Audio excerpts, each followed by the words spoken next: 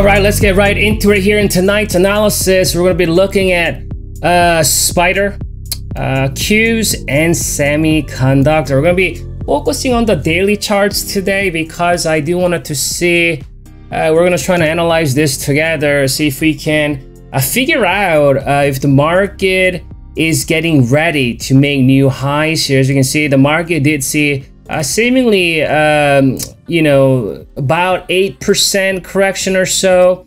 Uh, you know, uh, just across the board, Spider, Nasdaq, and Semiconductor.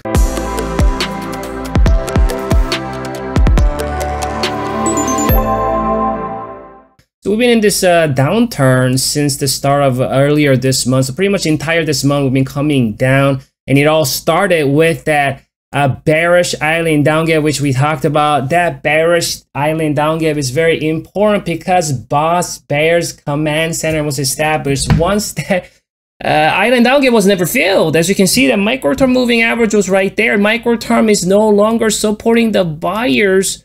Uh, once that island down gap came about, that micro term was reprogrammed to support the sellers. As you can see, again, this is a daily chart. Each candles represent one day worth of data. Uh, you see that little pop there. There's a micro term here, micro term here, micro term here, micro term here, micro term here, micro term here.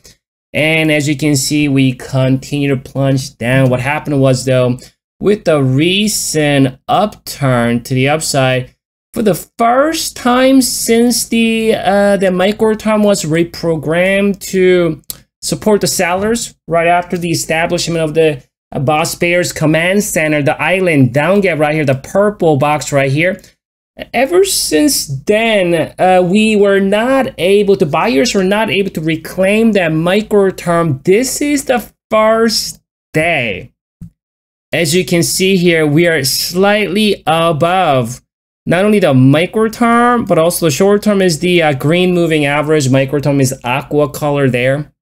So this is the first time it is poking its head up and we all know that just one day it's getting slightly above the moving averages are not going to confirm that the moving averages have been reprogrammed uh, to support the buyers. But nonetheless, as you can see, this is the first time. Again, uh, bulls were not able to, uh, you know, close the day above this micro term, let alone the short term moving average once it was lost. So this is a big deal going into tomorrow only if we can see that um, you can see a follow through to the upside and then micro term and the short term moving average start to cross back up.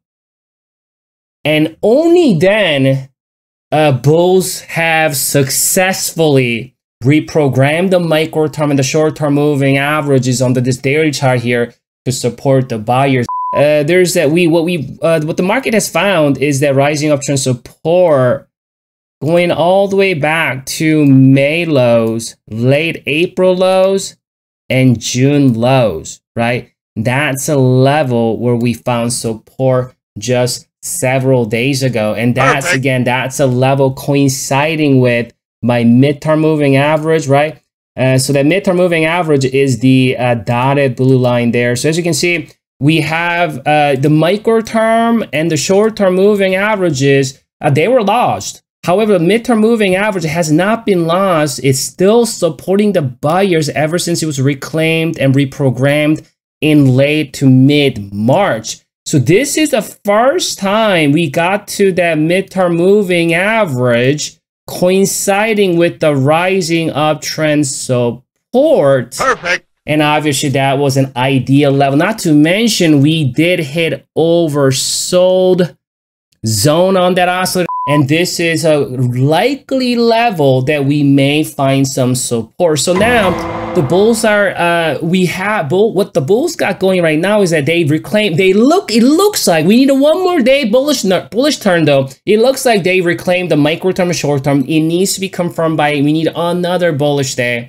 It looks like the the uh, we bounce in an ideal level with the rising uptrend support here, here, uh, coincident with the midterm moving average. And also the gap from this morning is going to be important because as long as that, that up gap from this morning stays open, I want to continue to sort of uh, give benefit of the doubt to the buyers in the micro term. So Qs, uh, Qs, you can see uh, this bullish or this uptrend support going all the way back to 2023 January. You can see March, January there, March here, and just several days ago. Again, that's the level.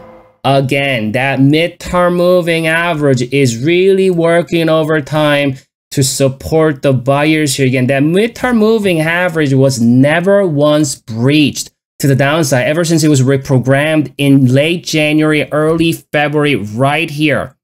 That midterm, that dotted blue moving average. Once that midterm moving average was reprogrammed to support the buyers, even we saw that decline during March. As you can see, uh, when we came down here, there was a midterm right there. And then market just thrived for many, many months, entire summer, starting early March all the way through August, peak there. And then we definitely see another uh, kind of short to midterm correction there. And yet again, that midterm was right there, right? Coinciding with the rising uptrend support. We are holding above it. I think it's because we have the midterm there and the rising uptrend support. That's like a double support. Also, that oscillator was hitting oversold level. And as you can see, so every time when we do see that oscillator hitting that oversold market did see that reversal happen in January, happen in March, and it is happening now here in late August. So again, we also do see that up gap from this morning. However, uh, unlike Spider, we got up gap here, we got up gap here, and this up gap was never where we still slightly open. You can see right there. So that's why you have my uh, gray box right there. So again, midterm moving average, long-term uptrend support. While that, uh, while we have the uh, oscillator uh, thriving, it seems um, so definitely, uh, we're seeing a lot of bullishness here. I think as far as like, you know, just just the way everything looks, everything looks bullish uh, as far as uh, any, you know, if we're looking at this is a conventional means. However, uh, keep in mind, this is a level where market can produce shenanigans. What? What?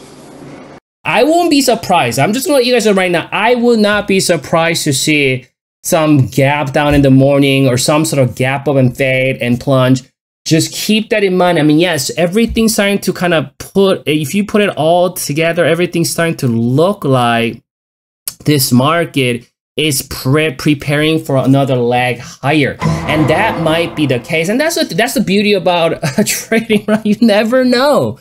You never know if, if we're going to see a very smooth market feels generous. We're going to see a very smooth bullish move to the upside, or is gonna where they gonna be a, some crazy shenanigans, and that's part of the game. That's that's what you signed up for. So I wouldn't be all you know what I'm saying, like being out of shape just because we see a crazy downgrade or something. You you you you you're, you're when you're trading this market, you should learn to uh, face shenanigans, go through shenanigans instead of it just because that's what we have to understand a bigger picture. That way, you're not gonna act upon fear or panic. Because how many times you've witnessed where you sold in panicky way and then some shenanigan happened and a couple days later or maybe a week later market just reversed back up and you missed your entry and then market just went up without you right how many times have you guys gone through this right so this is why you want to understand overall flow of things not so much what may happen tomorrow. Semiconductor looks like we've reclaimed and holding above the micro term and the short term moving average. You can see that, or I mean, the mic, yes, that micro term right here acting as resistance three times. It looks like today it acted as support along with the short term moving average. Obviously, that mid term moving average has been a star.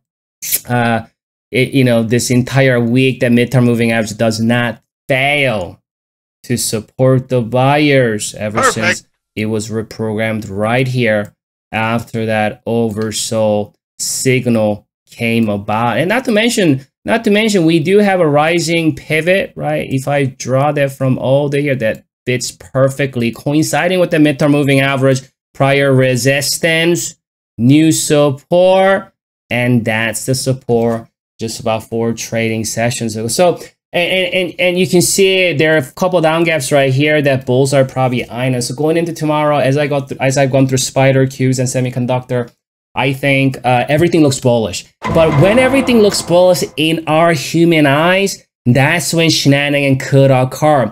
So, so my analysis is that I propose that there, that I feel that the sentiment is shifting.